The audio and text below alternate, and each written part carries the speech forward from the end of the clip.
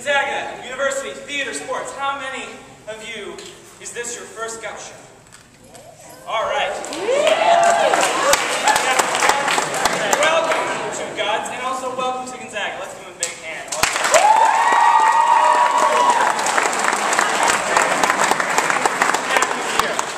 Right, as I said, GUTS is an acronym. An acronym is something that stands for something. It stands for Gonzaga University Theater Sports. What does that mean? Theater Sports means improv comedy. What does improv comedy mean? It means that everything you see on this stage is made up right on the spot, unscripted. Kind of like the show Whose Line Is It Anyway? But it's not on TV. and everything is based on suggestions that we're going to get from you